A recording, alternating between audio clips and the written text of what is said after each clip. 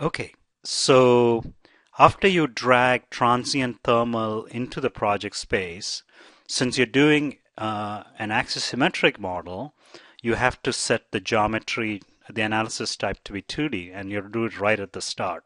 Um, you can't do it halfway through. So you have to right click on geometry, properties, and set analysis type to 2D. And axisymmetric is 2D because you have only two independent coordinates.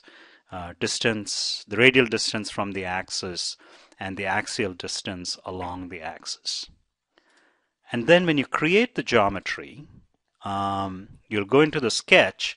The first thing you need to do is come in here to constraints and make sure that auto constraints is turned on. It, in version 15, it's not turned on by default. So once you turn it on, when you you know draw a line, for instance, you can make sure that the line starts right at the origin of the coordinate system. You'll get a P to indicate that, and so on.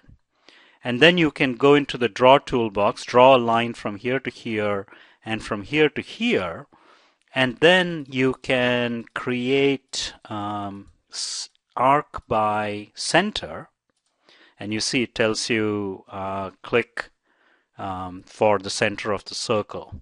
So you can create the center of the circle and then you can indicate you know these these two points. And in terms of dimensions the only thing you need to dimension is the radius of the the arc. And once you convert that surface to uh, the uh, sketch to uh, a surface body, you know, you'll have a part over here and the surface body is the only thing that is transferred to the measure. The other thing to mention is right before you do your sketch uh, for this particular problem, make sure the units are set to millimeter.